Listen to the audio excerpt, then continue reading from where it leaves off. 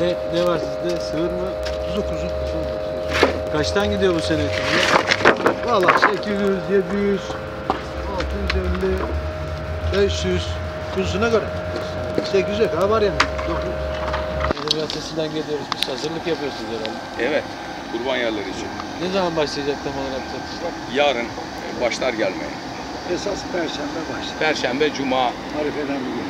E, sığır mı var sizde? Yok benim küçük baş. Öyle sığır Burada gelmez. Bize sığır gelmez. Kırklareli'nde sığır yok.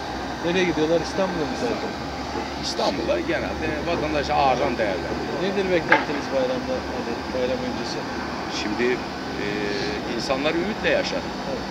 E, çok iyi ümitlerimiz var ama artık Ortalama fiyatlar nasıl gidiyor? ortalama fiyatlar 650 ila 1000 lira arası değişir.